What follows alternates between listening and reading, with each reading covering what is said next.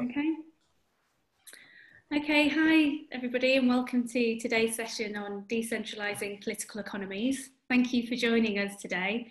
Um, my name is Poppy Bowers and I'm exhibition curator at the Whitworth Art Gallery, part of the University of Manchester. And um, I'm going to be moderating today's session and giving a short introduction. Um, so I thought I'd start just briefly by describing the Whitworth um, for those of you that, that might not be familiar um, the Whitworth is a, is a public art gallery that was founded in, in 1889 with a strong social purpose to give free access to art and education. And as the first public gallery in a park, it saw itself as playing um, an inspiring role in, in shaping citizenship and well-being for the, the working people of the industrial city. Um, so today it's, it's got a collection of around 60,000 works across historic and contemporary art and design, um, a significant part of which is textiles, of course, which, um, which is what the city's industry was built upon. Um, our original um, Edwardian buildings expanded over the decades and it's now made up of um, 12 gallery spaces, a learning studio, a study centre um, and a cafe and shop, of course. It sits on the university campus on the edge of the rapidly developing city centre opposite the city hospital and within dense residential neighbourhoods of Rusholme, Brunswick, Moss Side and Hulme. In recent years, um, we've returned with a renewed focus to the gallery's founding principles to ask ourselves, how do we use the museum today? How does it function as a civic space? And how do our collections, exhibitions and learning programmes speak to the complex issues and urgencies of our contemporary life? And part of that thinking has led to the development of an exhibition and research project on economics, which will take form over the next couple of years. And it's taking shape through collaboration with the Alliance Manchester Business School and with the Centre of Plausible Economics, a platform that uses artistic action and critical thinking to map and reimagine economic systems. And this is initiated by the artist Katrin Bohm and curator Kuba Szreder, um, who've worked closely with the economic geographer, Dr. Katherine Gibson. So very broadly, the project looks to reclaim economics as a set of social relations of which we're all part in our everyday life. Um, and provocatively titled Economics the Blockbuster, it also aims to rework the economy of the exhibition from being a practice of entertainment and consumption to instead a space for open-ended, process-based socially engaged activity that carries out real world action. So of course, our understanding of the role of art and the very conditions of its production, distribu distribution and circulation is at the core of this. Um, and that's been explored in the research strand of the project, which is titled Decentralising Political Economies. Um, so here we are. Um, DPE, which we affectionately are calling it for short, is a long-term and open-ended research collaboration between the Whitworth Art Gallery, the City Lab, which forms part of the Institute of Art and Technology at Liverpool John Moores University's School of Art and Design, and the Association of Arte Utile, of which we're going to hear more about during this session. Um, the aim of decentralising political economies project is to propose and examine how art can be used as a tool for developing forms of ground up and constituent social activism. And um, I, you know, I just have to say that obviously this, session couldn't come at a more timely moment given the, um, the legal strike action taking place by art workers at Tate and South Bank Centre in the face of cuts to low paid roles in their organisations and across the most diverse teams in the institution, so across retail, catering and publishing. And I think this is in part a legacy of the, of the pressures on institutions to diversify and generate their own commercial income. But ultimately, it speaks to the inherent contradiction that sits at the heart of many public art institutions, where the capitalist logic of their management systems simply do not tally with the leftist radical politics of their public programming and communications and I'm slightly paraphrasing the artist Taishani there, who wrote um, a brilliant essay in the Art Review this week titled Why Art Workers Must Demand the Impossible, um, which is freely available online if, if you haven't read it. Um, so bearing you know, this context in mind, um, today's session we'll explore how decentralising political economies can contribute to rethinking the institution. So the gallery, the museum, the art school, as we'll hear. Um, so rethinking the institution as a more equitable mode of practice that's no longer governed by or um, dominated by capitalist and growth orientated logic. And to do this, it calls for a reinvention of what we consider to be art and the role art and its institutions have in contemporary life. The session will introduce some key terms such as one-to-one -one scale practice, usership and the, the notion of the undercommons. And we'll draw on case studies including the Association of Art Utile, as well as socially engaged projects set in the specific locality of post-industrial South Wales. The speakers in today's session, um, which I'm really pleased to welcome, are John Byrne, Director of the Uses of Art at Liverpool John Moores University, curator and educator Alessandra Saviotti, and the artist Owen Griffiths. So hello and welcome to the three of you. Um, before I introduce the first of those speakers, um, I'll just say that the session is going to run for um, an hour and 45 minutes. We're going to finish about quarter to two. Um, the next session is, is starting quite promptly at two o'clock after us. Um, each speaker will present for 20 minutes and then we'll have around 15 minutes for them to respond to each other and start a discussion before we then open it up to questions from the audience. Um, I have a couple of house rules to quickly mention. Firstly, um, to ensure the session runs smoothly, if you could keep your microphone turned off that would be great. Um, this should have been done automatically, but sometimes it doesn't always work. So please do check, thanks. And secondly, um, we just ask you to, to use the chat function only for questions and comments to the panel. Um, and we really do encourage questions, so please, um, please do write them into the chat box. And if it's for a particular person, um, a particular speaker, do please, um, if you can, write their name in capitals at the start of the question, which just helps us track them more easily. Okay, Okay, without further um, delay, I'll, I'll, introduce the first speaker, which is John Byrne. Um, John is a reader in the uses of art at Liverpool John Moores University, where he's also the director of the Uses of Art City Lab. In partnership with the Internationale, a confederation of seven European art organisations, he's led Liverpool John Moores University's participation in a number of exhibition research projects and publications that each work to reconsider the formal systems of art and art institutions. So these have included the uses of art, the legacy of 1848 and 1989, a constituencies research strand, and he was lead editor of the resulting publication, The Constituent Museum, Constellations of Knowledge, Politics and Mediation, that was published in, um, in 2018. John is an active member of the Association of Art Utile and is committed to growing the association's network as a worldwide constituency of artists, designers, activists and makers who wish to explore ways in which we can use art as a ground up tool for imagining ourselves otherwise. John is currently researcher in residence at the Whitworth, where I have the pleasure of working with him and talking and thinking with him. And um, he's lead researcher and editor of the Decentralising Political Economies research platform. Okay, I'm going to hand over to you, John. Thank you. Okay, hi, hi everybody. Um, I'm going to just uh, share a screen, if that's okay. Okay, um, thanks very much, Poppy, for the introduction and to to everybody for for joining today what I want to do in this first 20 minutes really is to flesh out the decentralizing political economies project a little more. Uh, and to do that as a means also of introducing some of the things that both Owen and Alessandra are going to say, and hopefully to be able to to kickstart a, a conversation.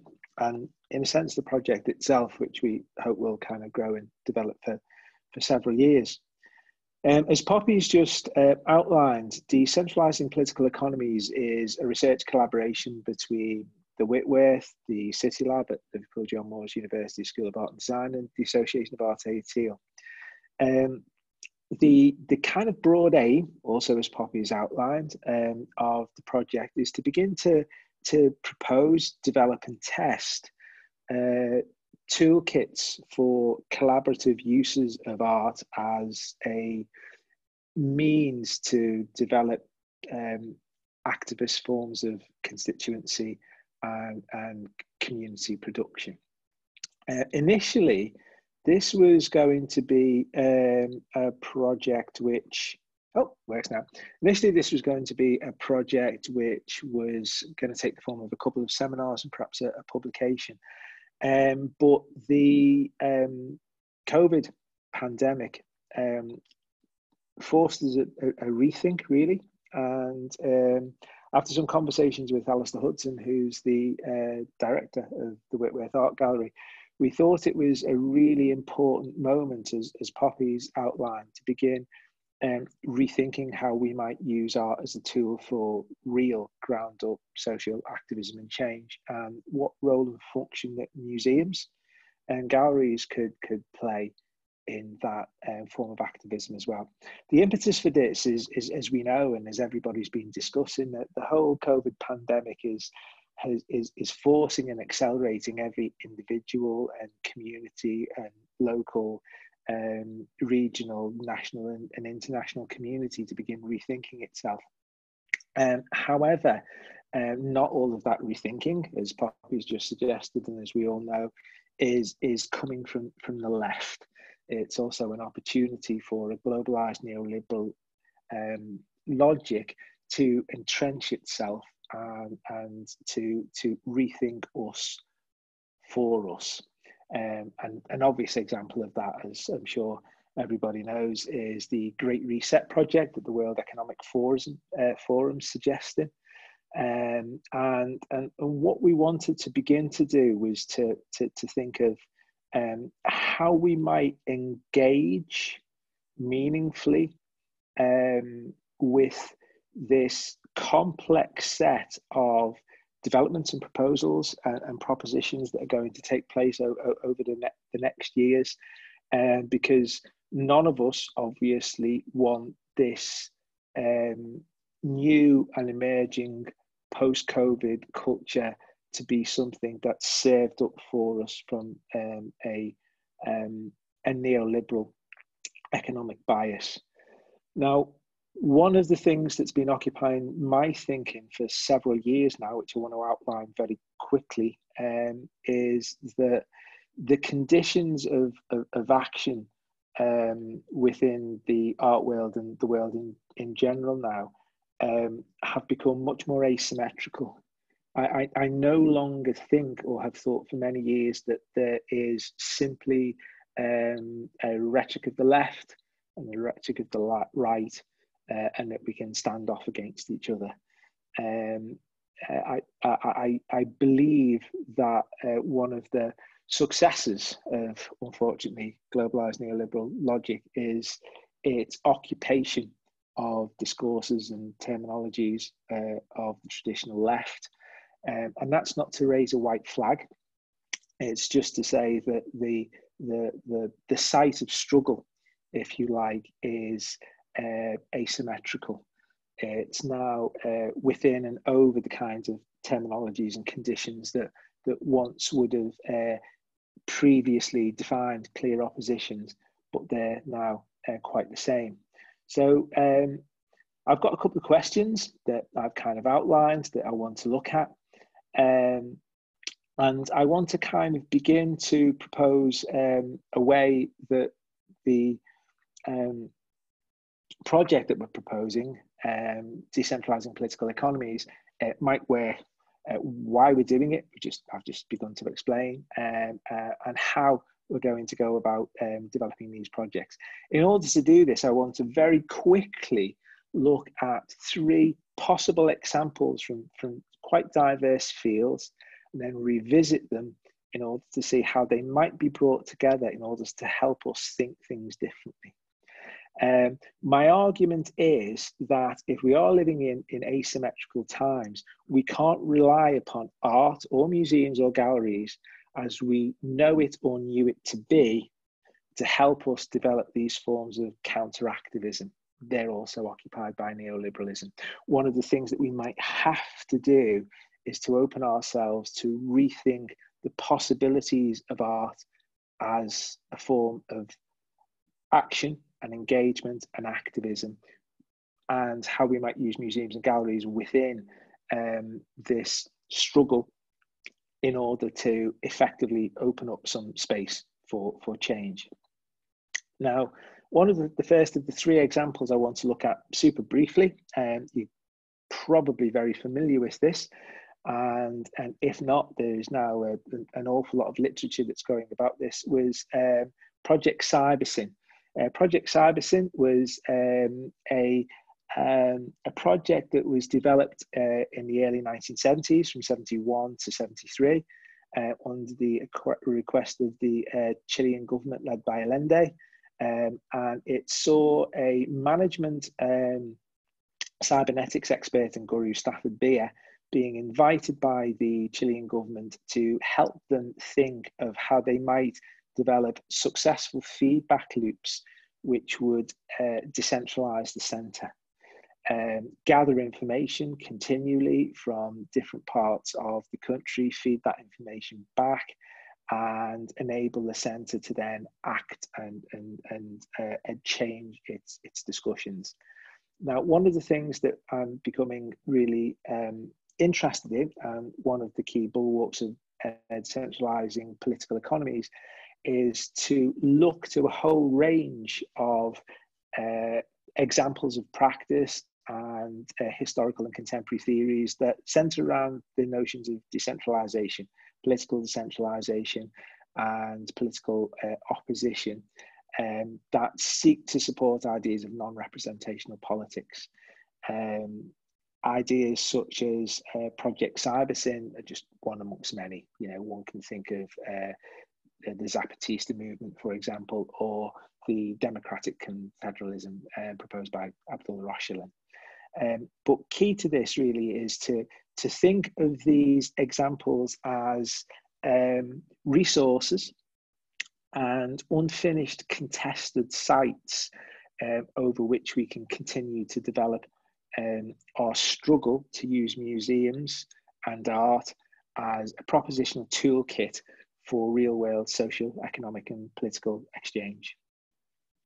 My second example is um, uh, an exhibition uh, which took place in the Van Abbe Museum in the Netherlands between 2013 and 2014 called the Museum of Arte Utile.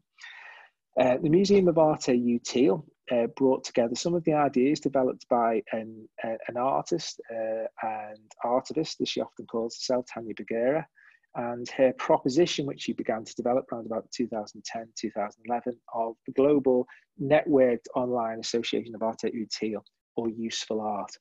The idea here was that art should no longer simply be a symbolic and representational model of how the world could be, but um, art could be used as a tool, not just by artists, but com- by communities uh, for, for social uh, economic, political uh, radicality and ground up uh, change.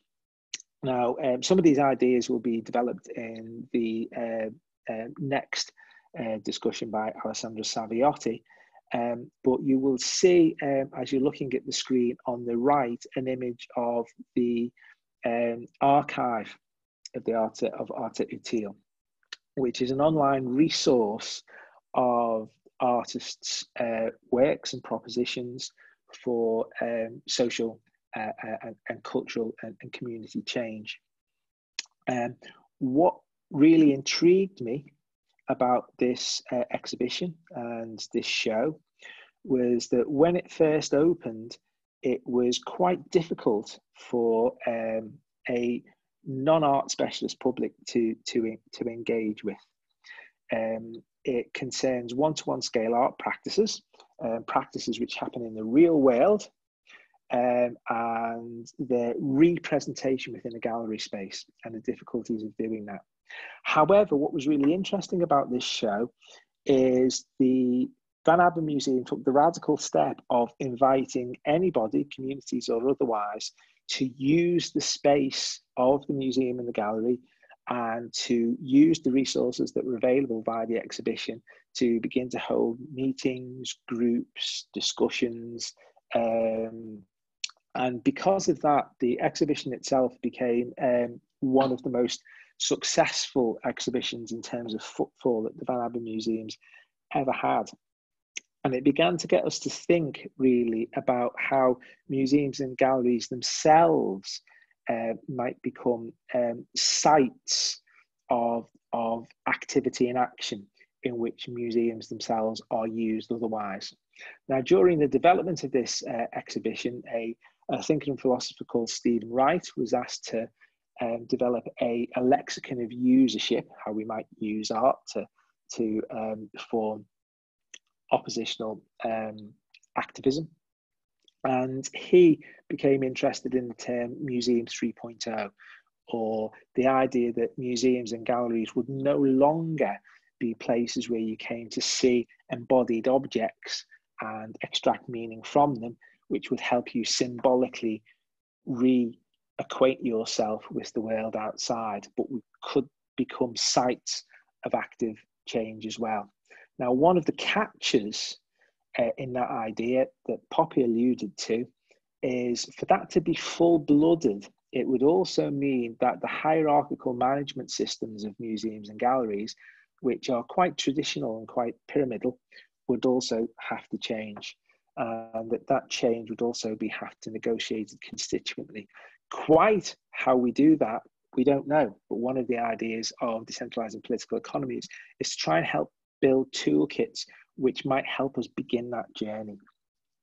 Um, most people agree that museums, galleries has to change, our uses of art has to change.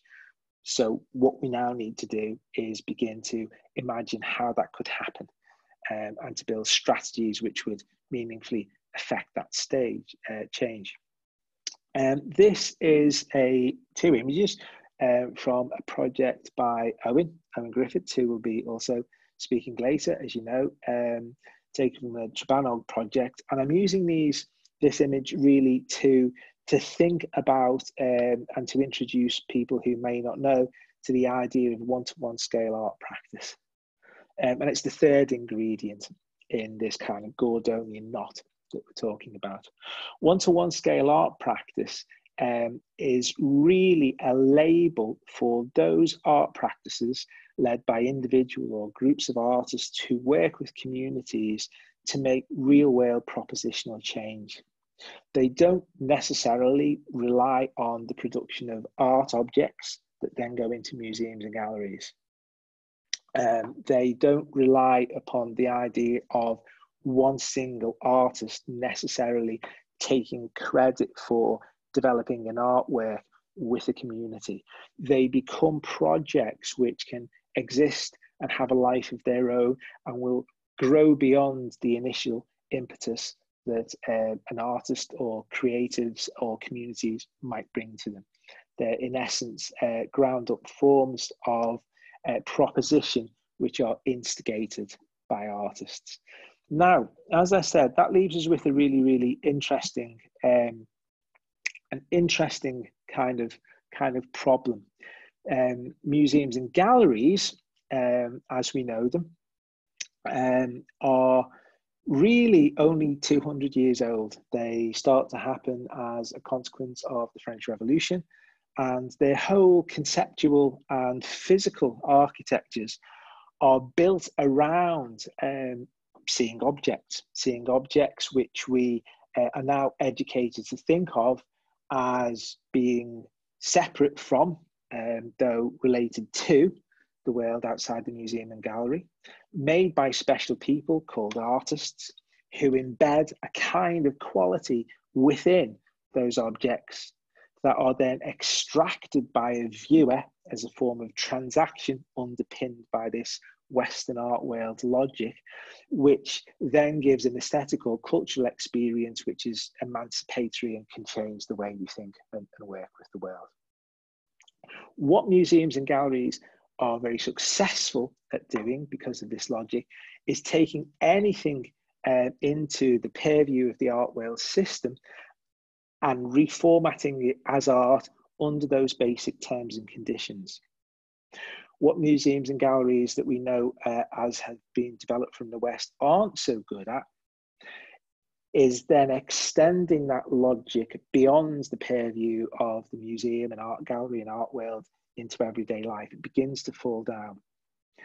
What we need to do because of that is to develop new ways of rethinking how we use museums, how we use art, how we begin to rethink the uh, museum and gallery as a site of activism and social change, which will allow, in turn, users of museums and galleries and users of art to reacquaint themselves with the uh, readily available forms of um, toolkits for, for, for activism and localized change, which they could then begin to use as meaningful propositions to challenge the centralization of deregulatory logic.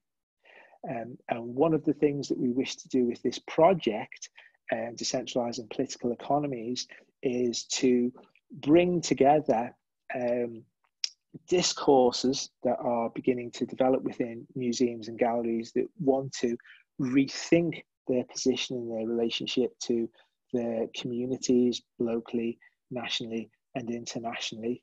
Um, artists who want to work in different ways, and constituents who want to use art as forms of proposition alternative change.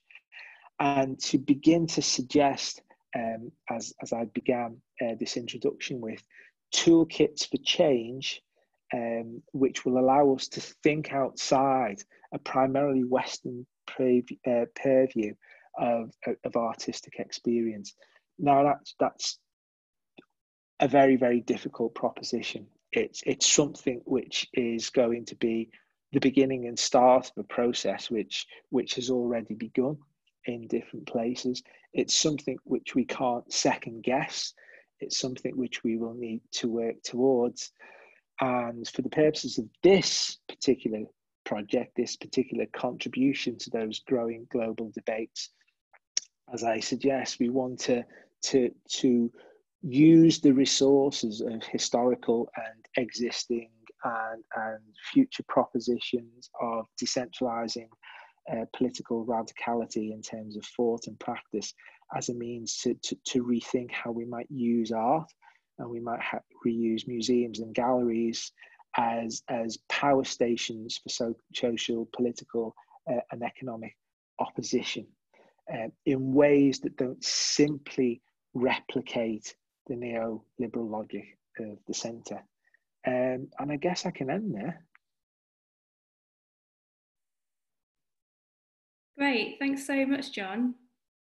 Hopefully everyone can hear me. Thank you for that. That introduces some um, some great um, thoughts that we can take up, um, that Alessandra and Owen can take up. Um, so I'm now going to introduce the second speaker, um, which is Alessandra Saviotti, who is a curator and educator who lives in Amsterdam. She's PhD candidate at the Liverpool John Moores University School of Art and Design, where her focus is on socially engaged art, collaborative practices, and arte utile. Her work aims to realise projects where the public becomes a co-producer in the spirit of usership. Her reflection is taking into consideration collaborative processes according to the motto, cooperation is better than competition. She is co-founder of the art collective Aspramente, a group which focuses on the common definition of work in progress, seeking the contribution of operators in other fields than art for interdisciplinary projects that are free from time constraints. She was part of the curatorial team of the Muse Museum of Arte Utile, which John has just mentioned at the Van Abbe Museum. And since 2014, she's been collaborating with the Association of Arte Utile, um, especially aiming at emancipating the usership around the archive. She's tutor at the International Master Artist Educator at the University of the Arts in Arnhem and also teaches at Academ um, UNIDEE in Biella, Italy. Um, Alessandra, over to you. Thank you, Poppy. Uh, so I'm gonna share my screen too. Just a second. All right, can you see it? Yeah, all right. So first of all, I would like to thank all the organizers also of this conference because I have been um, watching the previous sessions and it was uh, really awesome. So thank you for that. Um, and also thank you to Poppy Owen and John to be here. Hopefully we will have a conversation together later. Um, so I'm, so as, uh, yeah, some of the key words uh, were already mentioned before. So um, I'm gonna, I, I, I'll, I will expand a little bit on uh, how the Arte Utile archive uh, which was uh, um, put together for the Museum of Arte Utile exhibition at the Van Abbemuseum uh, has been used in the context of education, both informal and informal. Uh, and in particular, I will introduce uh, two projects. one is called Broadcasting the Archive that I co-curated with Gemma Medina Estupiñán. Um, and basically it became a real tool uh, we used to sort of infiltrate the institution of education, suggesting and implementing uh, another way of teaching, which is also inspired by feminist and critical pedagogy uh, and the idea of the undercommons as well. Um, and then I will, in the second part of the presentation, I will explain how the Asociación de Arte Útil uh, used its way of, uh, let's say, being. and so not a formal institution or association or an organization uh, to gain traction in the institutional environment, such as, uh, for instance, the museum collection, uh, using its very same principle. Um, and then all of this uh, has been done, let's say, in the spirit of usership, hacking and the undercommons, uh, which became a sort of common threads um, in the working methodology of the Association de Arte Útil, or let's say what I've uh, identified as such, and in particular when it challenges the traditional way of collecting, events making, spectatorship, and ownership. Um, so um, let's say that my interest is uh, really to, uh, to highlight how uh, Arte Útil provide case studies through its archive, which is uh, available for free online on the Arte Útil website. Uh, in order to promote and emancipate, and emancipate usership, and uh, in particular, how it can really become um, a fertile ground where to experiment, but also conceive uh, inclusive education models and toolkits. And uh, this is also, would be also, let's say, my contribution to the decentralizing political economies platform because I'm, I have been busy to think about uh, the toolkit session and in particular to uh, resource for education, which mm, which hopefully uh, are going to work both in the formal and informal education um, education environment. So how I would I try to do so? Um, I'm gonna talk about uh, two case studies in particular um, that I really think, or at least I, uh, over the course of the years, I see that they can really uh, challenge effectively uh, the education system, but also propose a model that other people uh, could use, but also could uh, research and could, could add also other meanings and tool to that. Um, so this is uh, the first project, uh, which is called Broadcasting the Archive. Broadcasting the Archive is uh, a collaborative project uh, that I have been curated together, together with uh, my colleague Gemma Medina Estupiñán. Uh, we started putting together the project in 2015, right after the Museum of Arte Utile exhibition was over, because we were pretty much, let's say, working uh, in close um, collaboration with the artists whose practices and projects are included into the archive. And we really wanted to, we were always talking about, okay, how can we use the archive? Um, this project is really meaningful and amazing. How can we really uh, try to, um, you know, to, to support also this kind of practices uh, beyond the museum and beyond the, um, the time of the exhibition. So our aim after the, the exhibition was over was to become serious about what, what we were trying to, to say with the exhibition. So let's repurpose uh, the, the museum. Let's try to use the spaces of the museum in another way and so on. So, um, and also we decided to develop the project independently, uh, even though we were always in conversation with uh, Tania Bruguera, of course, and uh, with the museum, the Van Museum, but also a different kind of institutions. Um, um, because we, we really wanted to to go beyond the, the walls of the museum. In a way, uh, since these, uh, the, the case studies that have been um, included in the Arte Utile archive are um, practices that they were a little bit uh, put outside the, the context of the museum or the canon of the, of the museum. So we said, okay, let's try to, um, to find a way to really support uh, these kind of practices and artists uh, also beyond the context of, of the exhibition.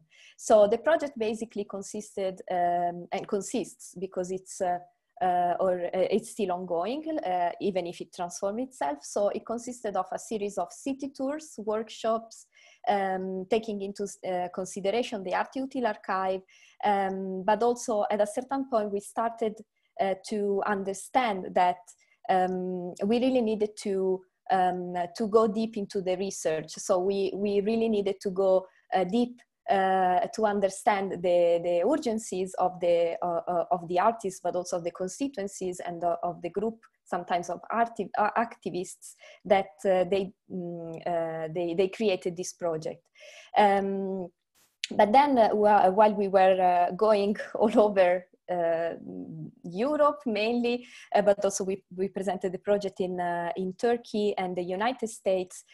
we saw that this archive and also this way of um, mm, uh, being in conversation not only with uh, the artists and the practitioners but also with the other group of people that were uh, let's say using this project in uh, in another way beyond art be, beyond art it became really important. And it could, it could be transformed as a so and used as a sort of uh, let's say pedagogical methodology.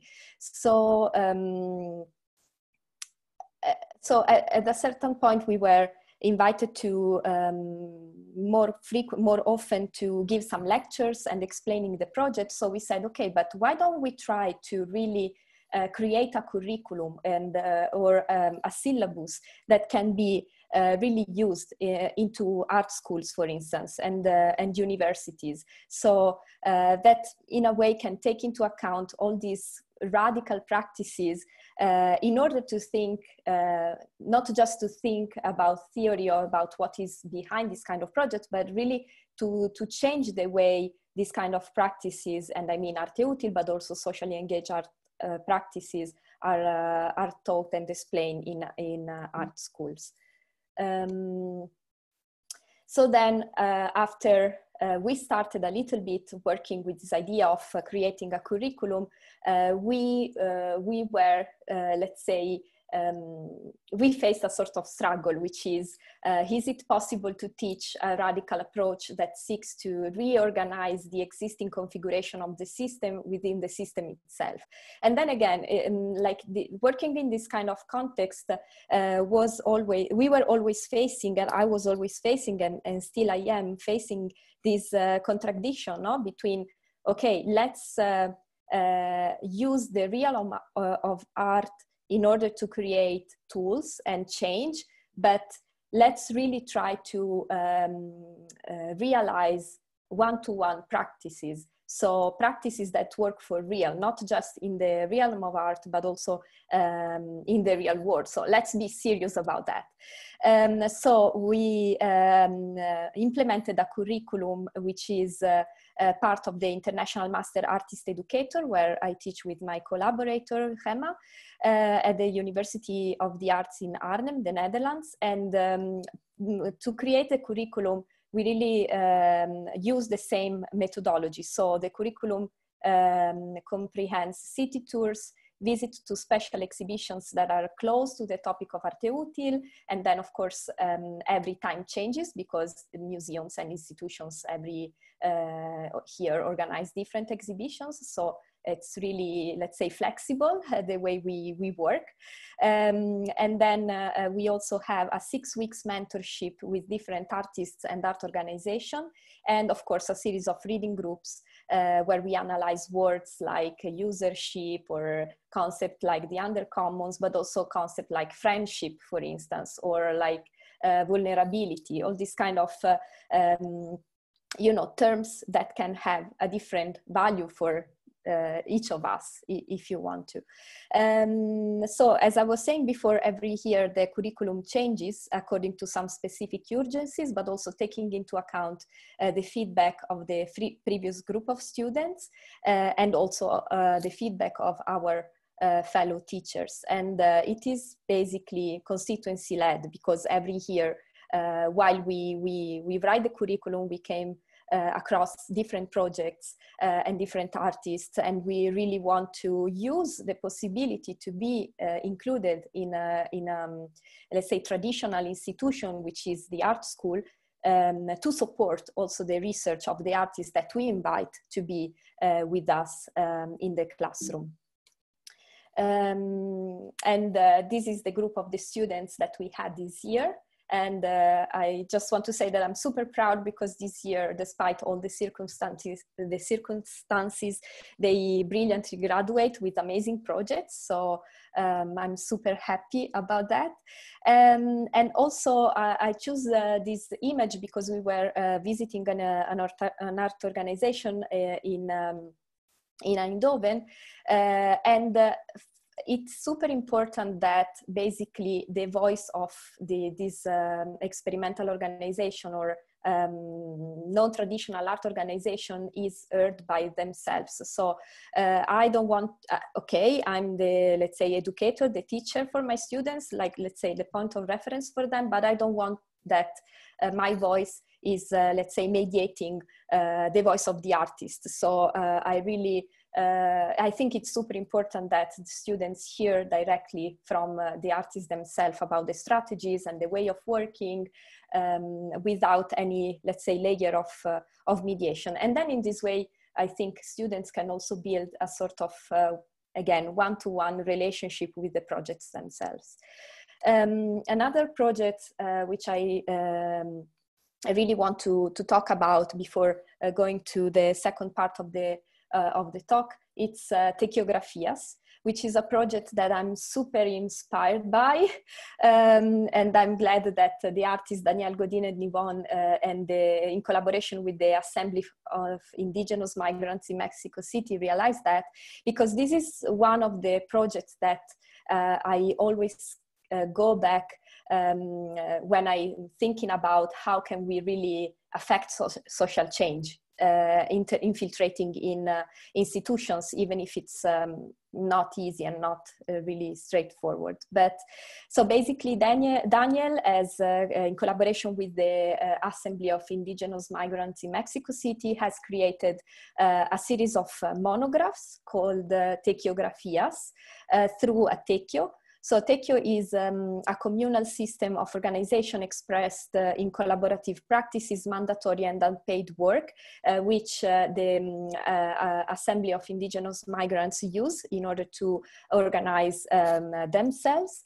And um, basically the goal of the project is really to um, change how uh, the some topics that are part of uh, the, the tradition or the way of living of the indigenous migrants in Mexico City are taught in school, in schools in, in the city. So basically, monografias is uh, like, let's say, this kind of uh, um, um, cards that has uh, uh, that are used by kids in schools in order to learn about different topics but then uh, they are always um, created and designed by you know like with a specific point of view which is not this point of view of the uh, indigenous migrants so Daniel uh, together with them they uh, made new drawings and they but they also make uh, um, wrote uh, the explanation of the different topics uh, that uh,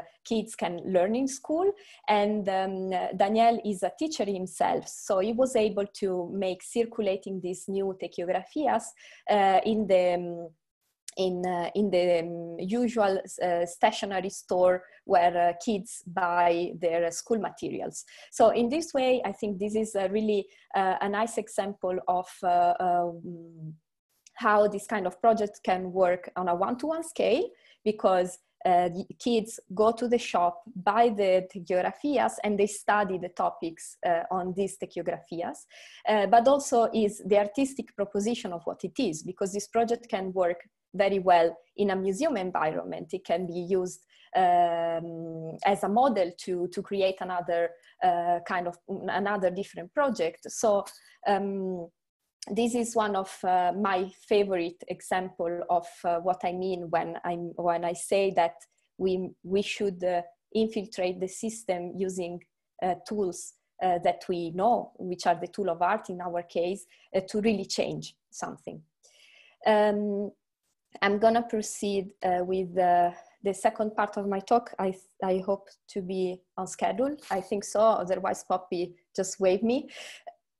Okay, so this is a, a quote that I would like to um, um, uh, read to you because it's uh, uh, one of my uh, let's say, favorite quote by Tania Bruguera when uh, um, to ex- that I use to explain uh, what arte utile means.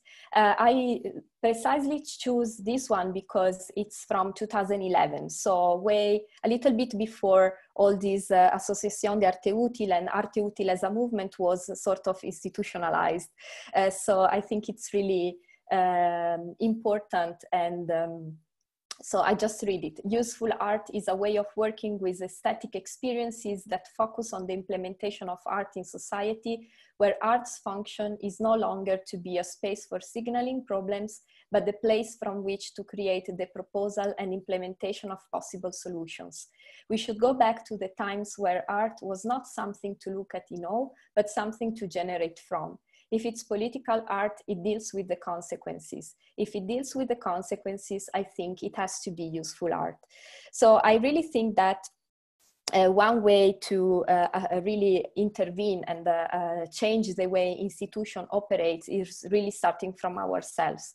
Um, because uh, museums and institutions, um, you know, like are made by the people that working there and run the institutions. Of course, also, you know, like if, if we think about space, um, it's super important to change the space and uh, to uh, to welcome other kind of bodies in uh, in the institutions but uh, i think we really need to be serious and to to and to be brave and to start from uh, the way we work and the way we understand our work and uh, what does it mean to to really change something um, so uh, going back to, to the idea of the archive, um, at a certain point after the exhibition was over, uh, we received a lot of requests on uh, using these archives. So we started thinking, okay, but how can we avoid that this structure, this kind of structure that uh, you, you see in the presentation becomes the only way of using the archive? And also how can we be serious in considering that the archive is not just uh, only a work of art but is something else something that it needs to be fed it needs to be activated etc and also how can we question the practice the praxis of uh, events making um, that doesn't consider different temporalities of working with con- with constituencies that are not contemporary art trained audiences? And this is something that also uh, John uh, um, uh, explained a little bit before. So we came, uh, um, we decided to uh, to push for to pu- to really push for the acquisition of the archive, uh, which which already exists online for free. Uh, it's a little which can be a little bit counterintuitive, but the question we had was, can we avoid that this collective project is seen first of all like a solo artist project, uh, but also is the museum committed to uh, uh, is the museum ready to commit to this kind of practices? So uh, together with uh, a group of uh, um, you know like art um, tania bruguera herself but also john was part of the group i was part of the group other museums uh, directors curators exhibitions and the collection and the legal department we decided to intervene directly in the budget of the museum collection. So is it possible to make a, um, a shift between the idea of the purchase agreement to the idea of the certificate of usership. Uh, and this, I think, it was quite, uh, you know, not easy to to think about it because it took us, like I think, uh, almost uh, seven, eight months one minute. Okay. So I'll, I'll just close it here with the with the part of the contract. But i think the point was that okay let's try to not using the, the budget of the exhibition not use, using the budget of the public program but really to intervene in the collection because the collection is what uh, in the end remains. So i'm just going to finish in reading a section of the contract which i think it's quite uh, uh, I really like it, and I think it's also quite um, interesting. And this is like the real contract is not like something that uh, uh, like an exercise in that. So in agreeing to co-usership of the Arte Utile archive, the institution who buys carries out an act of generosity and commitment to support the public recognition of Arte Utile. Strictly speaking, the Arte Utile archive cannot be owned by any party to the exclusion of any other, since it can be freely used or misused by anyone. The Arte Utile archive can, however, be part of collections. In this case, joint usership is secured through a one-off subscription fee, a form of remunerated usership paid by the using institution to the Association d'Arte Utile. Okay, thank you.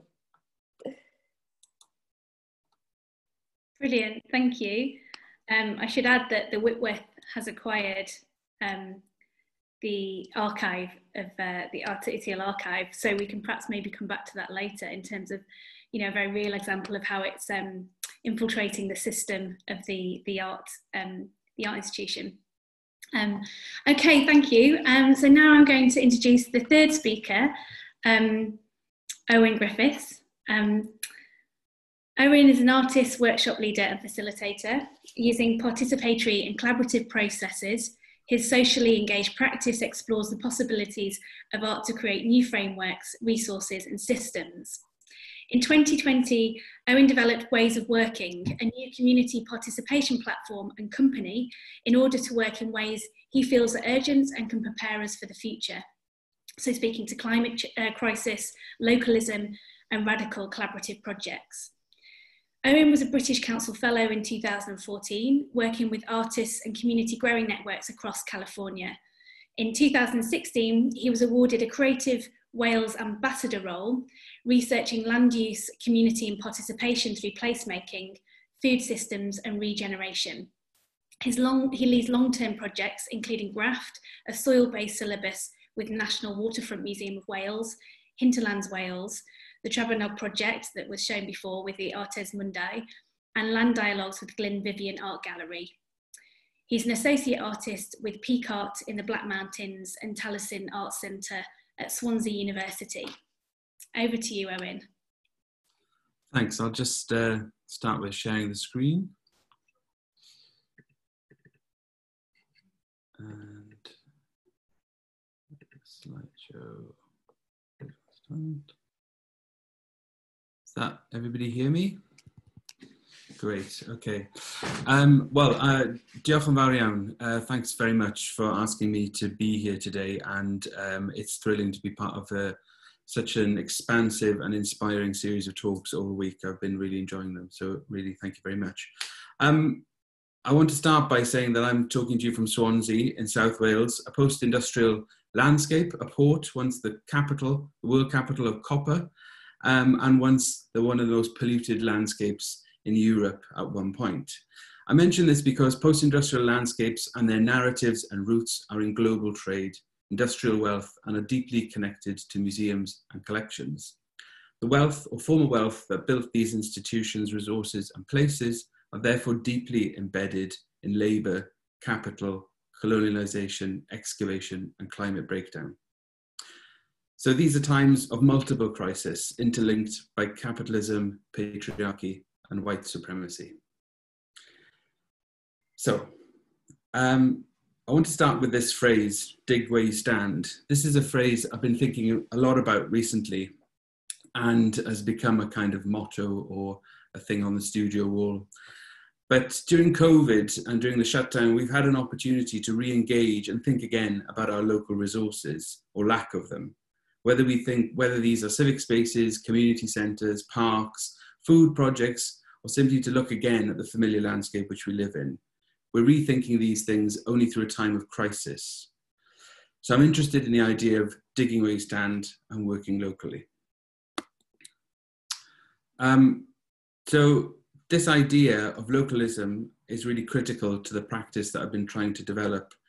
So I wanted to just share with you uh, some projects that are in the square mile of my house and my studio, which have been in development since 2011. So they involve Vetch Veg, a urban green garden, which I'll talk about in a minute, Graft, which you alluded to. We're doing some work at the Swansea train station, working with Transport for Wales, looking at green infrastructure and community development projects there. We're working on a project called Land Dialogues with the Glyn Art Gallery and National Museum Wales, looking at the collections and looking at land use. And we're working on a potentially a long, long-term project, uh, an anti-gentrification community design project, working with communities uh, and natural resources Wales around water and climate change in one street in Swansea called St Helens Road. So I wanted just to introduce those projects and the idea of what does it mean to work locally outside of the cultural capitals, outside, uh, literally outside in a lot of these cases, like on a canal, towpath, in a park, um, to hold dialogues in these places, to create feasts in the street, to hold workshops which question power and create radical educational opportunities for people, to make the case for developing long-term relationships with communities, creating more collaborators, digging deeper, changing policy, empowering place, and trying to be useful and sometimes failing at all of these things. Um, oh, I can't, for some reason I can't change slide. Oh, there it is, it's changed. Um, so the Vetch Veg project, so projects like uh, Vetch Veg and Graft, which I mentioned earlier, are urban guard, green projects in my locality that I've been developing, have been and they've got them built into these projects are longer term caretakers and the idea of land stewards or, or long term collaborative partners. And these, the design and creation of these projects are really led by the need for that, those infrastructures to be taken seriously and to be built as part of the creative work. So this idea of governance, sustainability structures, uh, and their, their, their, their life beyond the initial artistic involvement are really critical to the way they take shape and the way that we talk about and develop these projects as collectives and as communities. Vetch continues today and is a garden for over 150 uh, local people. Um, it's just down the road from my house, and um, what's ex extraordinary about it is that locally it's become this real critical community centre for lots of different people. They won recently a, a, a, kind of campaign called the People's Park campaign to maintain all that green space that you saw there um, and to kind of create this idea of a community speaking to the to the needs of, of what they need from sustainability, what they need from green space in city centre landscapes. So this is a project which is in its ninth or tenth year now and uh, is still going strong and is developing more and more all the time. But this idea of land stewardship and connecting to um, landscapes that we live in locally is really critical to the work, and as is the idea of returning the museum to a site of collaboration, which is a lot of the, the questions and uh, work of the Art Utile network and the questions that John uh, framed uh, today's session around. Um, and I want to introduce a project and an idea around uh, how, one example of how that, how that developed. Um, this is a, a graft, uh, a, a, community garden and edible landscaping uh, space, which is basically the transformation of a green, sterile museum lawn into this abundant edible landscape with a composting system, with beehives, with a cob oven, with a 40 foot polytunnel, and a whole program of workshops educating people around food to plate, uh, you know, solid to plate education, and the connections between uh, the, the museum as an industrial heritage museum and, and food. So what this is, is a public commitment, not only to sustainability and climate and community, but to acknowledge the museum's role as a potential community centre with a responsibility to its locality, to climate and local green infrastructure. What we're trying to explore is the relationship between the museum and its constituents. The garden is an arena where this can be enacted slowly, where a radical shift in ownership and production can begin to take shape. We're also exploring the, the connections between the garden and the collection, the processes at play in a community project alongside a museum, looking at the seeds as a living archive of migration, ecology, diversity, and a collection of industrial heritage objects, and finding the connections of the common ground between these things. The next stage of this connection work that we're talking about is a new garden that we're developing just down the road in another institution. So again, we're working very locally here, talking, taking the Graft volunteers and others to a new site with us to design a new community green space at the Glyn Art Gallery. This design will be informed by a community research project into landscape and land use and the collections at both, both these institutions. If we can understand the true narratives of the post-industrial landscapes and the connections between the collections, we can try and design a space or try to reimagine this familiar space again to make a truly radical new community green space informed by these histories of oppression, of excavation of materials, of capital and trade and their connectivity. What this is trying to do is create a new kind of civic interse intersectional space to talk about the role and the responsibilities of collections and galleries to, to their communities. How can a garden become the space to talk about these ideas, as well as a much needed green and tranquil space? In our case, in Swansea, in a, in a, in a civic space which is going, undergoing years and years of regeneration and failing to kind of create uh, a kind of coherent idea of what a civic city, what, what, a, what a truly radical city space could be. So what's emerging from all these projects and connections is like an archipelago of local civic landscape work, demonstrating softly the ability for communities to take ownership, to explore ideas of exchange, meaningful production and design, led by sustainability and sociability, rather than by commerce and regeneration agendas. we explored the ideas of ownership and land stewardship directly with communities in projects like Skyline, where we worked with three communities in the ex-coal mining valleys of the Rhondda,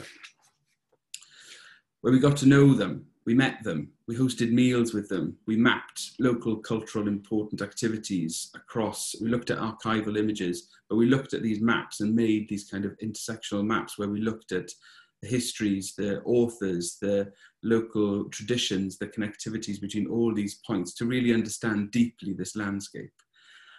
And this is all framed around a provocation of imagine if all the landscape that surrounded us was again in common use, it was a commons. What role will it play in the crisis of climate change? And what are the possibilities here for, for, for communities to manage their own natural resources?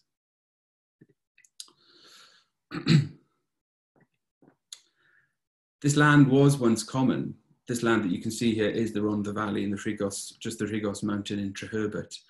This land was once commons, farmland, broadleaf woodlands, full of oaks, crisscrossed uh, by ancient walkways and bridle paths, where people would tell us stories about walking to the mine over the hill, over the top of the hill, and then walking home underground through a network of tunnels back to their own village. Um, they're now you know, pine forests managed by Natural Resources where the Environment Agency, they're kind of monocultural capitalist hillsides which are logged at a loss, which are uh, which is just a timber which doesn't is not construction grade timber, and these just they're, they're just a, a landscape waiting to be reactivated. One of the really interesting things was that we had these amazing conversations with community elders who were adopting the roles of land stewards they were with the goal of bringing young people back to these landscapes, protecting the natural resources for future generations. During this project, we met with sustainability experts, explored small scale crofting, created feasibility studies, looked at hydroelectric schemes, sustainable logging projects, and alternative economic models of community ownership of these landscapes. We mapped the stories and the culture, explored the relationship and the materials that were extracted, and their journey as part of a global capital exchange, and the austerity that followed the 1980s Tory government systematic destruction of these communities, and the connections between the mines of South Wales and the projects of empire. I'm going to stay in the Rhondda Valley a little bit now, so we're going to go to the Trebanog project. But these slides are kind of um, uh, provocations and, and kind of uh, a series of statements that John and I have been talking and working around. So challenging the patterns of dominance and power, these are kind of critical ideas to how these works take, uh, take shape. So the Trebanog project um, is, uh, is a really interesting example of this idea of long-term relationship, getting to know a community and um, getting to playing at odds with the expectations of the cultural commissioning forces in these projects, where you're expected to fly in, make a make a work, and uh, and leave. And what's interesting about a lot of these projects is that I'm still engaged in a lot of these things. I'm still engaged with these communities. So models of friendship, models of alternative, collaborative ways of working are really critical. And you can see that in the kind of in the way that we're trying to make these statements with the people. There is no alternative the, the, the future is self-organized or what makes this good practice the idea of asking these questions collectively about what is the use of art in this context and how can we leverage its ability to do something that can mm. raise the um, quality of life for people, can create employment, can create new green spaces, or can create opportunities. So there's no easy way to talk about the Trebanog project because it's quite a long-term uh, uh, thing. But essentially, what we did as part of this idea of being parachuted into a space was we took over a derelict primary school.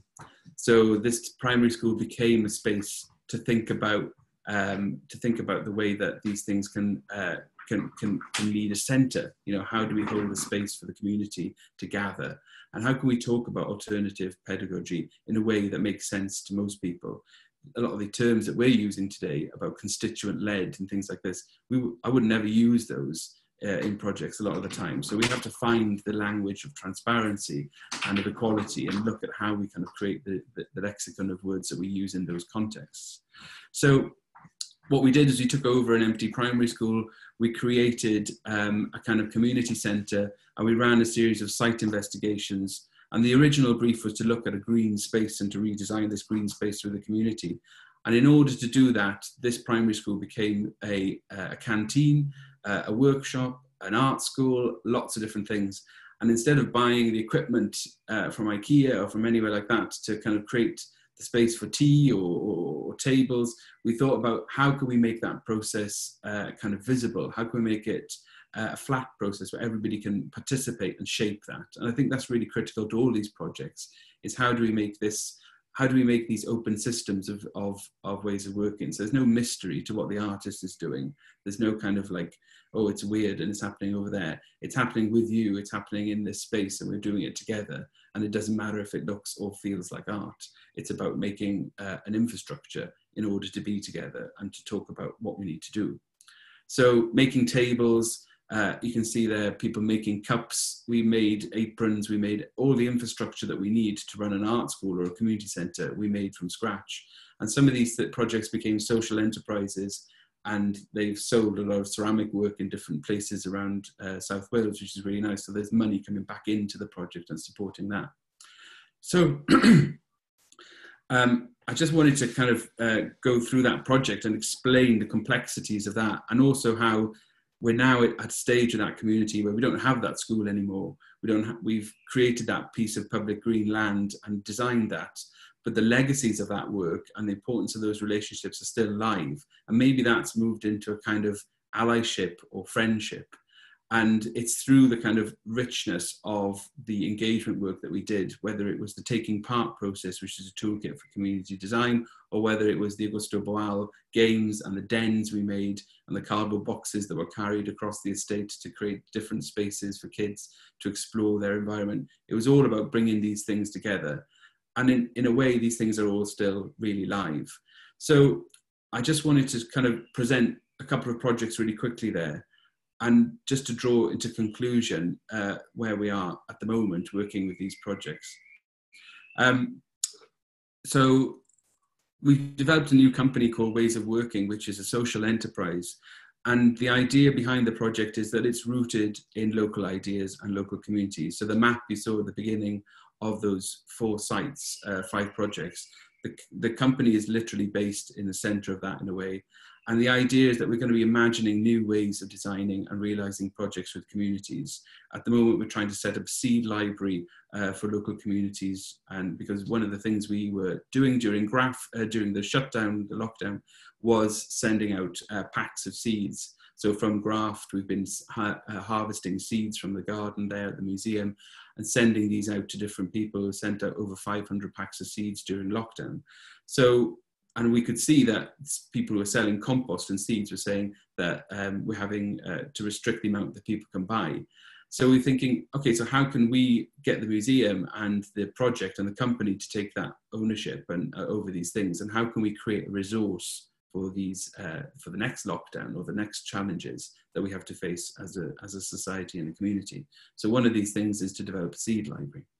Um, this is a new and developing uh, collaborative platform and it comes from this point of urgency because what I what I'm experiencing a lot of the time is that I can't wait for the cultural sector to catch up or to respond to the things or for local authority to respond to things because it's too slow and it's too late.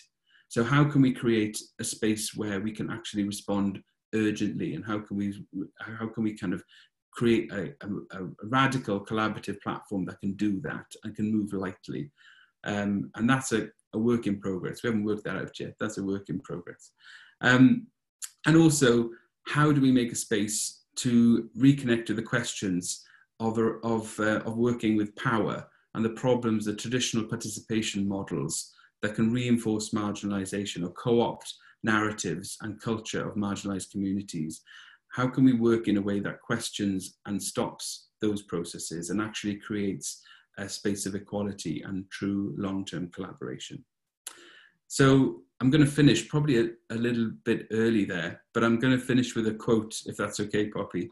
Um, this is a quote by Arundhati Roy, which which came up in an article during this uh, during the COVID shutdown, and it's something again that I've used on the studio wall, but we've also discussed with the groups that we're working with remotely during lockdown.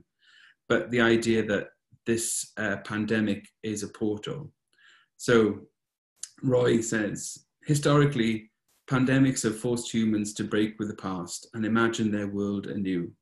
This one is no different. It is a portal, a gateway between one world and the next.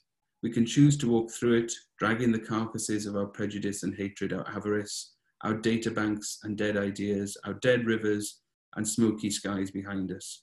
Or we can walk through it lightly, with little luggage, ready to imagine another world and ready to fight for it. Thanks very much. Thank you so much, Owen. That's a brilliant quote to finish on. Thank you. Um, we've had a few questions coming in, but before we um, turn to the questions, I just want to obviously give you each a chance to, to respond to what um, the other has said. So, um, John, do you want to start with, with any kind of uh, thoughts you've had during Alessandra's and, and Owen's talks? Yeah, um, I think that what is, um, as as Owen's just pointed to, one one one of the things that is is really necessary is to begin to think of how we can create spaces where we can act urgently. And I've been thinking a lot during the talks of um, Alessandra uh, and also Owen about the that kind of traditional underscoring of artistic practices by the idea that an artist creates something that then an audience extracts an artistic surplus value from.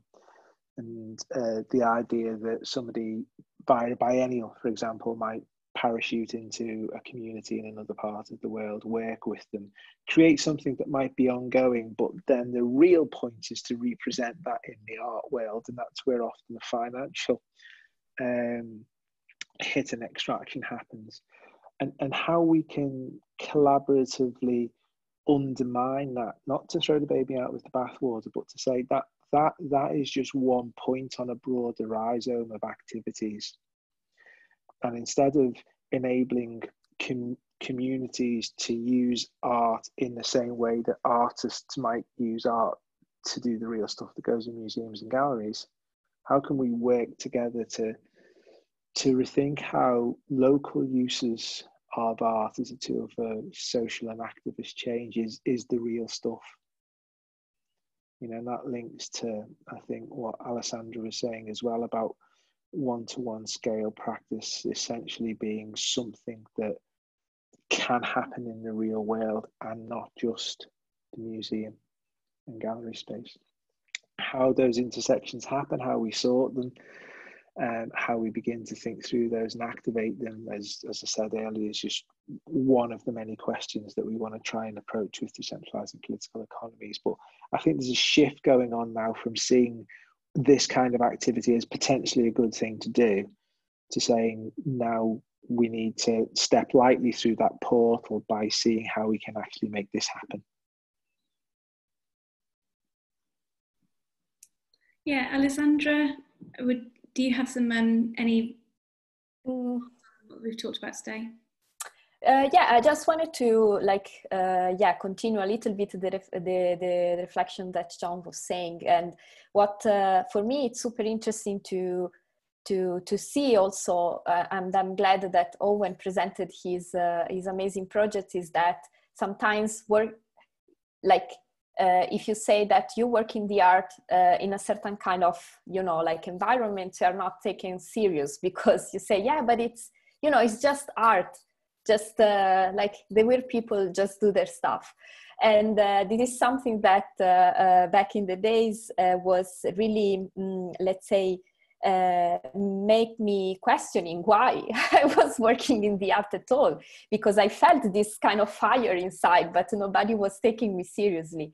But I think that after um, I met Tania Bruguera, for instance, and uh, after I met also uh, my former colleagues at the Van Abbemuseum, I saw that you can really do you can really use the the uh, the art context as a sort of alibi to do something else. Because precisely because it's just art.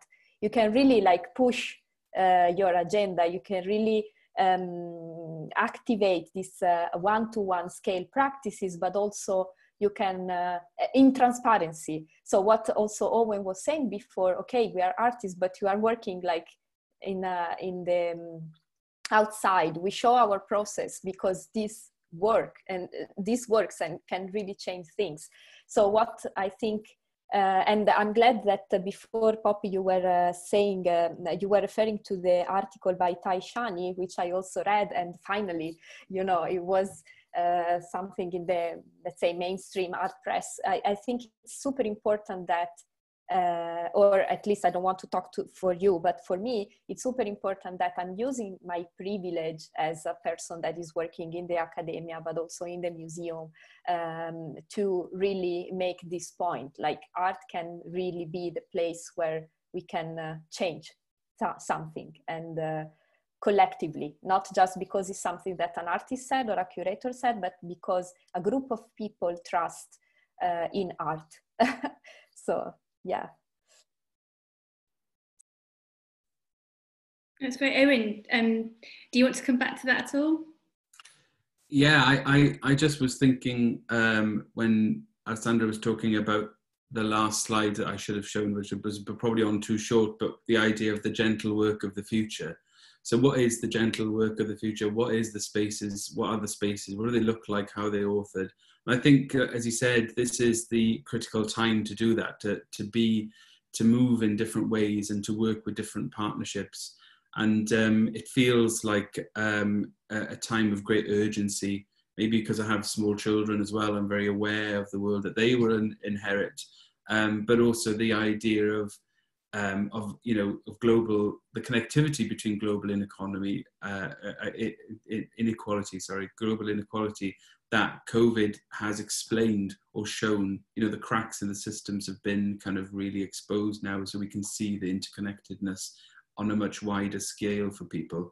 I think these are really critical times to to do exactly that work. And I think, as you say, you know, often I I think you know it's difficult sometimes working in uh, in South Wales where there isn't such a European connection to in you know at, at the end of an M, the M4 corridor where at this post-industrial part of South Wales it's easy to feel a bit disconnected but actually what's really important is to realize that you know, the the kind of, you know, the importance of European connections, the importance of the connectivity between all these projects, and the common ground and the common language that's starting to emerge.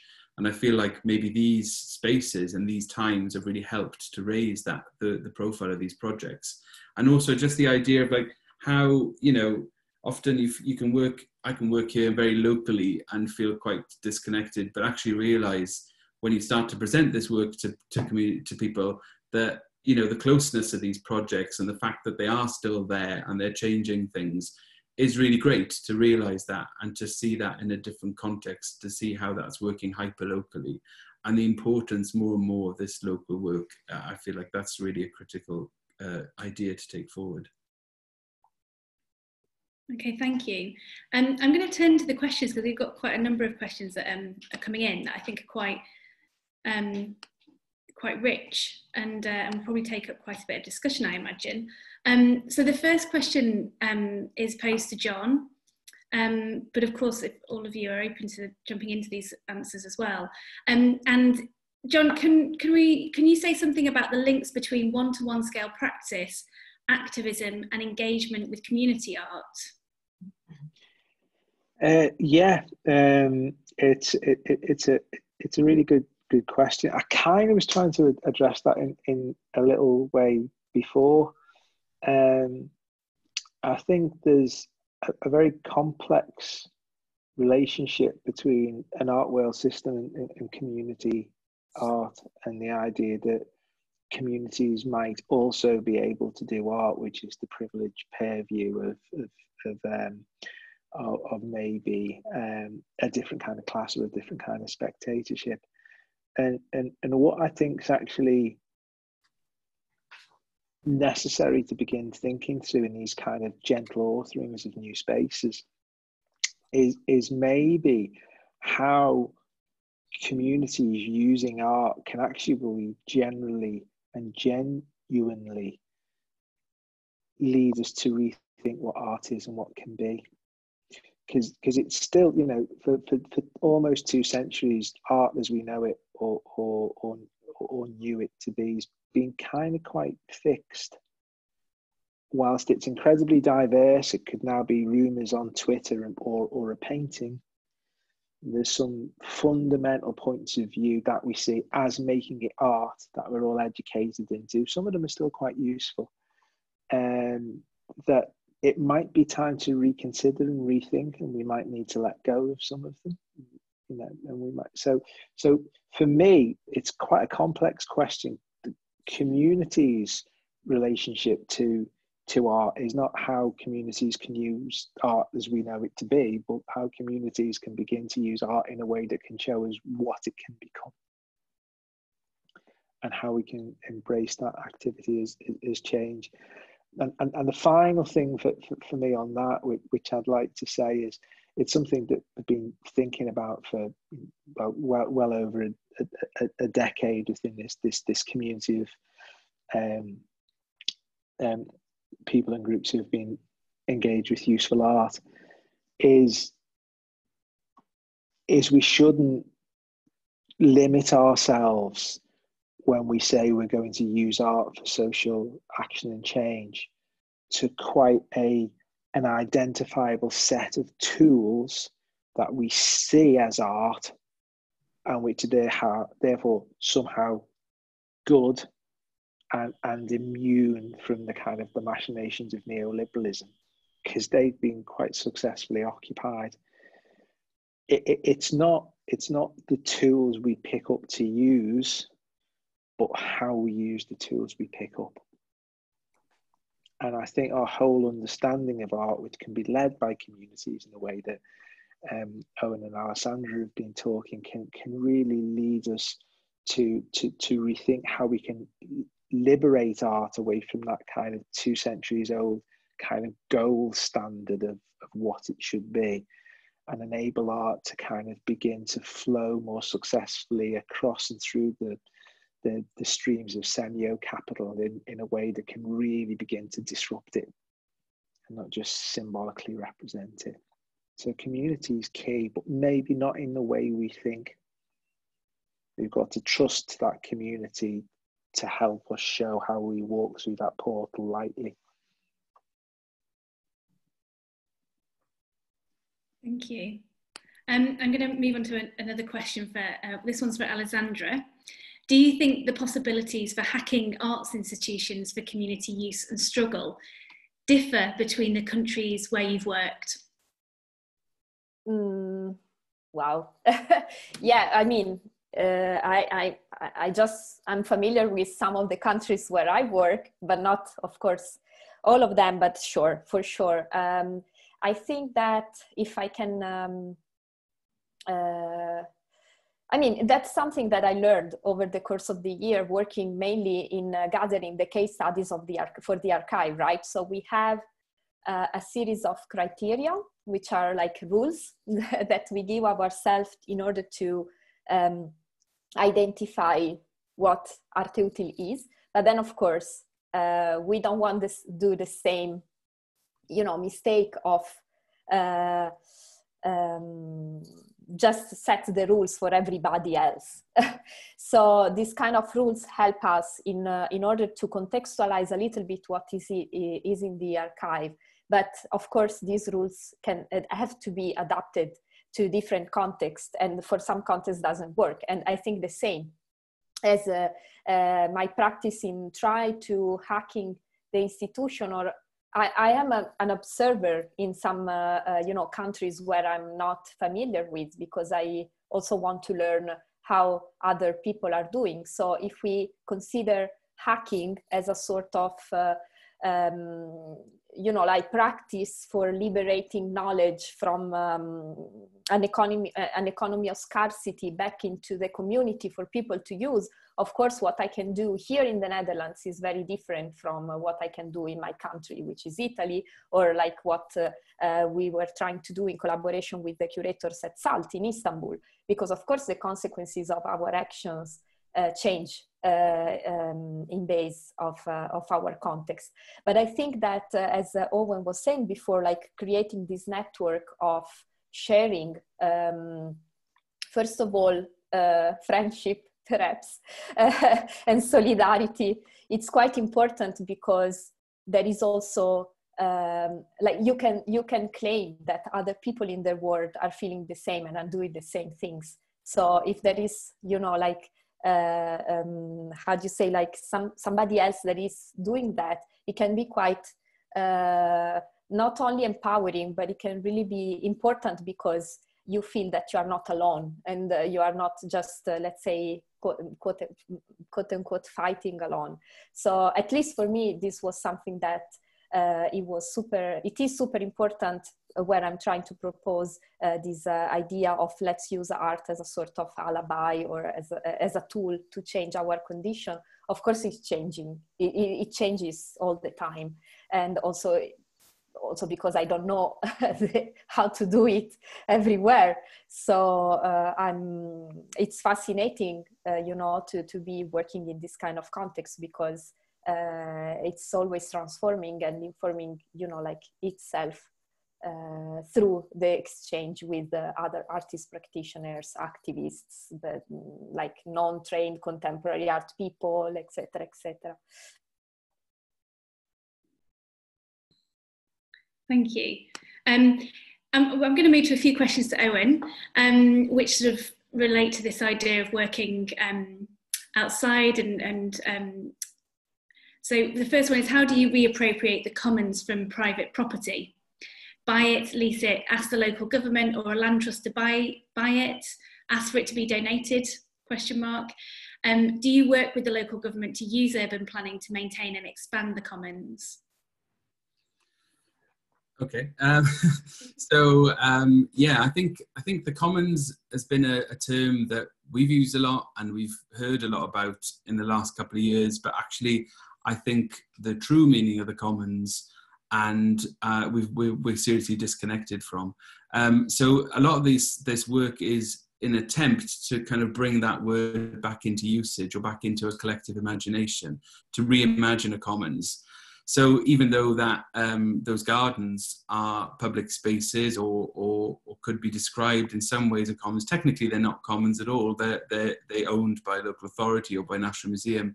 But what we're trying to do in the projects is to subvert the usage.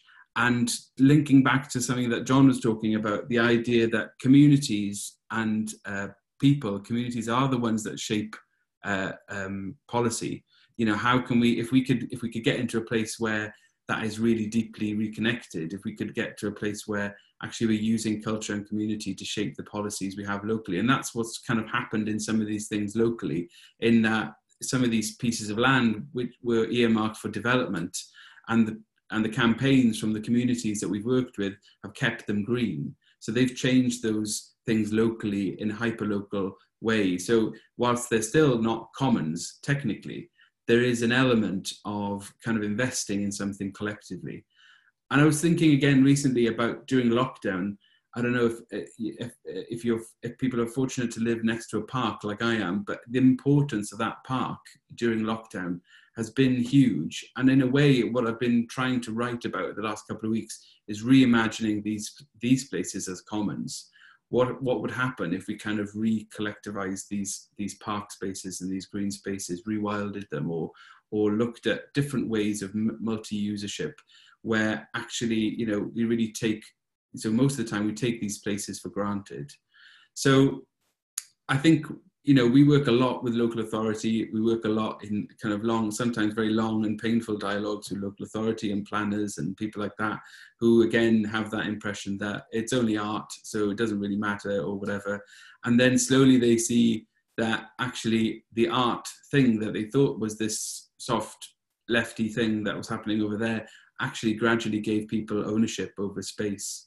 So it allows, you know, the process of these art projects allows things to take root.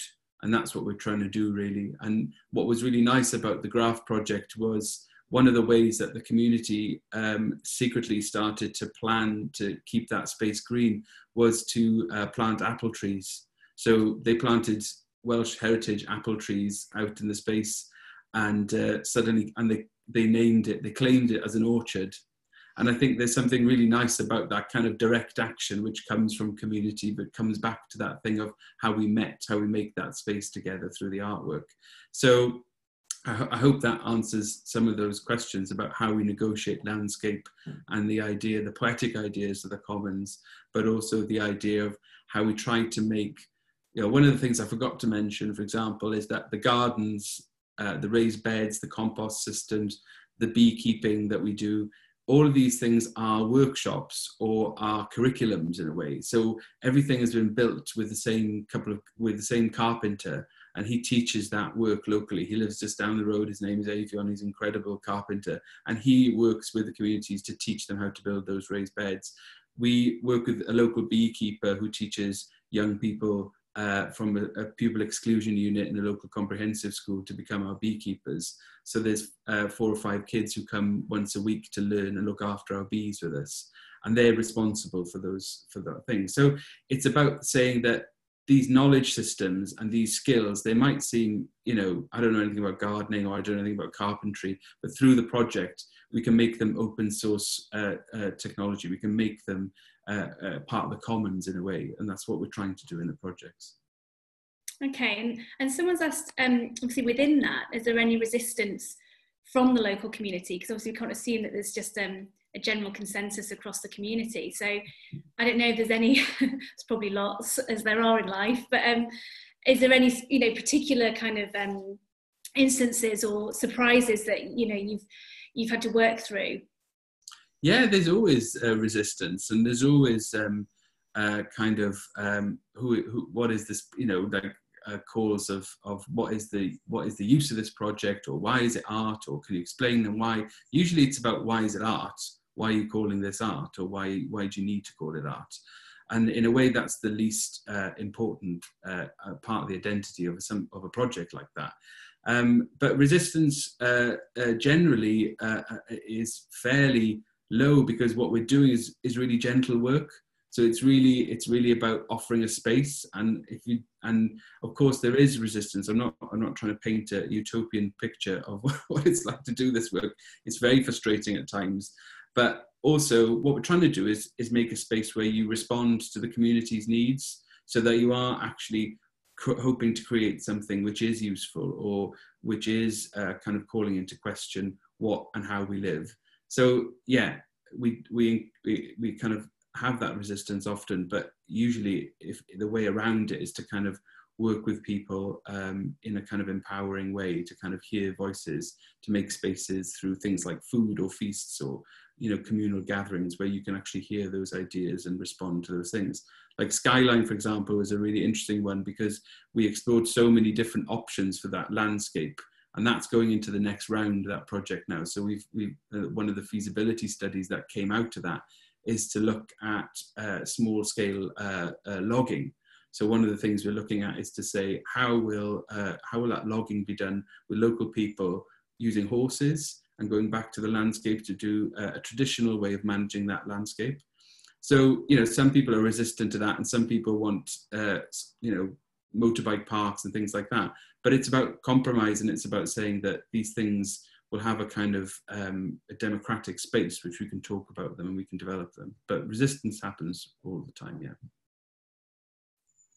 Okay, I'm going to rush through these. We've got quite a few questions coming in, which is really exciting, but I know we're running out of time. So I'm going to try and put a couple together. Um, one was um, aimed at Owen again about how we stop this work being interpreted by soft capitalism. And then they reference the program Manctopia, which I don't know if anyone else has been watching, um, which is the million pound property um, develop look about the vast and um, very rapid urban development of Manchester. Um, but in that, they put a yoga class in a new build apartment block to encourage a sense of community for potential buyers. Um, and I guess tagging on to that question, so holding that there, how is this work being in, you know, stop it being interpreted by soft capitalism? Um, is it exclusive to the museum gallery artists? Um, a second question is also uh, to Alessandra and John, which is how do we protect these projects from big money and associated big vanity? Um, as art and museums are two of the most main conduits for funneling excess money. Um, so I wonder if you can um, respond to, to those two questions. Who wants to go first. Yeah, I'll, I'll, I'll have a, a quick stab at that. Um, really quickly, um, how can you how can you stop the appropriation of these projects by soft capitalism? You can't. How can you stop um, egos moving in to appropriate these kind of projects within museums and galleries under the present circumstances? You can't.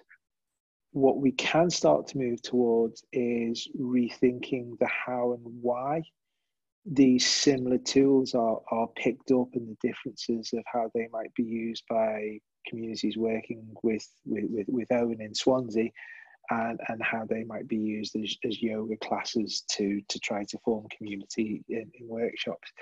I think Alessandra touched on some really interesting things by the Association of Arte Utile with, with the with the the ownership and commodification of, of, of, art and, and, and collectors and big egos taking it.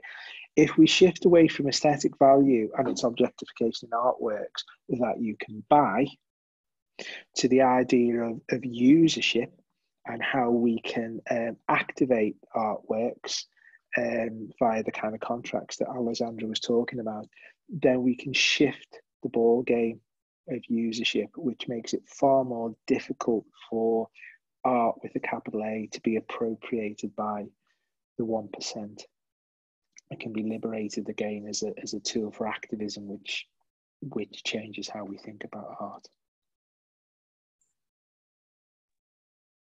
Yeah, perhaps I can add a little uh, thing about uh, this idea of how, yeah, exactly. I agree with John completely because what we if we think about usership it means that it implies also misusership no so if you think about how social media have been used uh, like who knows if mark zuckerberg was thinking that sometime like in 2016 the russians have been like uh, influencing the American elections, for instance. So, of course, um, usership has a great potentiality in art because it's really uh, also changing this uh, um, way of uh, how capitalism works, but you cannot really control uh, what people are doing. But perhaps it's also a question for Poppy because she's the one working in the museum. So sorry about that. No, but just to be serious, yeah, it's uh, it's difficult also to control how the institution approach the Arte Utile archive, for instance, because it's for free online. You can download the uh, the cards, you can do your own installation, etc., etc. But then, of course, if someone approaches us because wants to invite an artist to be part of an exhibition, of course, we we are not the agency for the artist. Like the institution needs to, uh, you know, like get in contact with the artist, pay the artist if they want to um, have a project, etc., etc., etc. But that, but then again. Uh, I go back to what John was saying. You cannot really control usership. Okay. Um, yeah, and I think you know that obviously has a lot to do with with the, the context we're in at the moment, um, with the funding structures behind um, our institutions and the measurements um, that are the pressures that are placed on them on how to measure themselves. Um, and the South Bank Centre, I think, is a great example, um, well, a very um, upsetting example of how um, that need to create different income streams through property and um, and you know having made, turning its sort of estate into kind of cafes and restaurants and then that being a, you know the, the exhibitions in some ways being a driver for those um, those commercial units totally totally you know restricts and and shapes what kind of program you put in those galleries. And um, that's a, a kind of very um, very pertinent example at the moment following Oliver Basciano's um, article in The Spectator this week, which is another um, article I'd recommend you looking at. Um, but finally, back on the, um, the, just trying to get some questions in before we finish in a few minutes. Um, I have another question that's about how do we, um, to all of you, um, how do you, how does your approach to Arte Utile and decentralizing political economies engage with children and young people? Um, who have so much to teach adults and are often, especially during this pandemic, our most radical and creative educators for a reimagined, more socially just future? It's a nice question. Um, well, maybe I could uh, respond to that. I mean, I mean, we one of the works, one of the elements of the of threads of work that we're doing at Graft is to work with the local primary school, um, and we've been doing that off and on over the last year, where a primary school uh, relocated uh, one uh, one year of the school into the museum. It's called a year at the museum, and uh, the the whole kind of all the education of that school took place at the National Waterfront Museum. And you know, one of the critical things that we get all the time, the conversations with uh, children and young people in the garden, is that uh, their disconnection from food production, their disconnection from, oh, they don't know what a potato plant is, and and these things some people, some of them do, not everybody. But what's really interesting about that space is that uh, we've literally had people uh, take seeds and go off and develop gardens in their schools as, as a result of that project. So, in terms of uh, of talking about it within the Arte Utile context, I think it's just about not sometimes not even mentioning uh, some of these words and just talking about it from a perspective of common ground and just exploring how yeah, maybe you you used to grow this stuff with your grandfather or whatever it was, uh, what that connection is to you, and thinking about well, how can we make a space where we will say where we'll say, well, you know, we could do that again. So sometimes it's about offering the space to just to have those conversations. But I think um, critically, it, it, it's completely uh, it would be a huge, much bigger part of the projects now moving forward. With how do we engage with children around these uh, around these projects is really critical. Mm-hmm. I'm going to keep it brief because I know I haven't got much left. Yeah, we're, we're yes, I'm on mute. Um, yeah, we've got a couple of minutes left. Um, there's just a quick question that's come in about, again, about the role of vigilance, awareness, discernment via education and communication to see the signs of commercial appropriation from market forces. Um, is, yeah, is there a role for vigilance, awareness, discernment in these projects? Of course.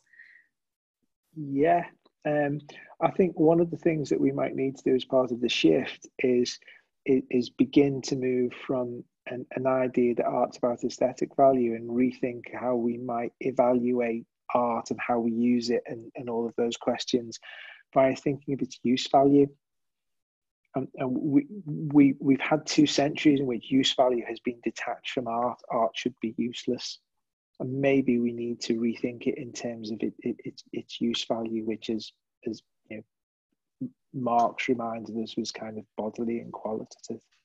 And, and that, you know, the whole thing of usership is a way of rethinking that, I think. That's great. Okay, well, I, I know we um, we better end that session there because I know there's um, there's a bit of prep for the, the next session that's starting at two o'clock, which I hope everybody's able to um, continue to um, to attend and be with us. Um, thank you so much to the three of you, John, Alexandra, and Owen. It was really brilliant, and there's lots um, there's lots of um, ideas and thoughts there, and especially yeah. questions that have come in to kind of um, have a sharp focus on some of the points that you become more familiar with. Um, so, so thank you to everybody that's um, sent in questions and thanks very much to the Colloquium team for inviting us to do this session. We've, um, we've really enjoyed it. So thank you. Yeah. Thanks. Thank, thank you. Bye. Bye.